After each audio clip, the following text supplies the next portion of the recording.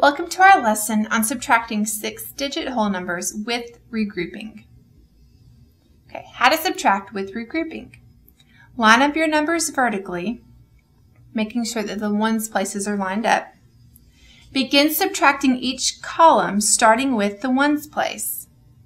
Remember, with subtraction, you cannot change the order of the numbers. They have to stay in the order that they're in in the problem.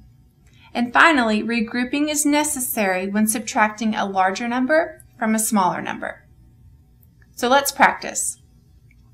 We have 981,432 minus 327,388. Okay, our numbers are lined up vertically. So starting with our ones place, we have 2 minus 8 that tells us we need to regroup. So we come to our tens place, our 3 becomes a 2, and our 2 becomes a 12. 12 minus 8 equals 4. All right, we need to regroup again. This 4 becomes a 3, and this 2 becomes a 12. 12 minus 8 equals 4. We have 3 minus 3 equals 0. All right, looking at our thousands place, we know we need to regroup again. So we do, our 8 becomes a 7, and our 1 becomes an 11. 11 minus 7 equals 4. 7 minus 2 equals 5. And 9 minus 3 equals 6. So our answer is 654,044. Let's look at another one.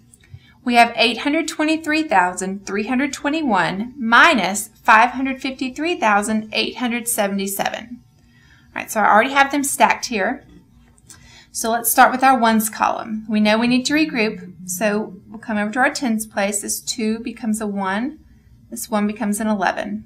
11 minus 7 equals 4.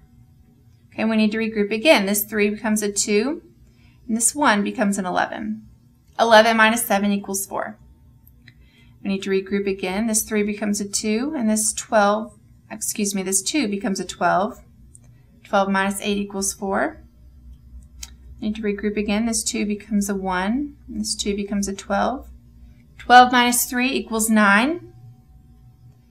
Regroup one last time. This 8 becomes a 7 and this 1 becomes an 11.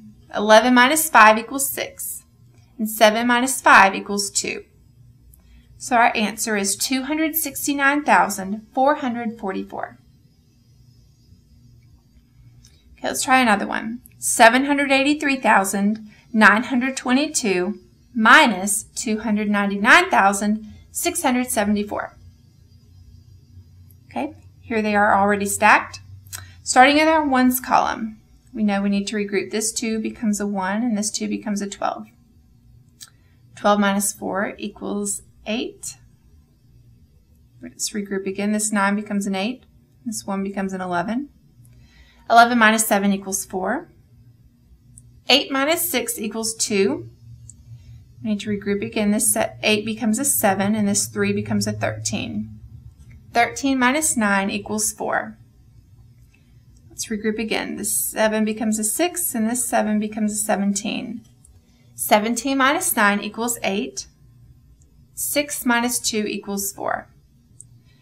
So our answer is 484,248. Let's try one final problem. 853,122 minus 465,654. All right, I've got them stacked here for you. Starting with our ones column. We need to regroup. This 2 becomes a 1 and this 2 becomes a 12. We have 12 minus 4 equals 8. We need to regroup again. This 1 becomes a 0 and this 1 becomes an 11. 11 minus 5 equals 6. Let's regroup again. This 3 becomes a 2. This 0 becomes a 10. 10 minus 6 equals 4. Regroup again. This 5 becomes a 4. This 2 becomes a 12. 12 minus 5 equals 7. One last time. This 8 becomes a 7 and this 4 becomes a 14. 14 minus 6 equals 8.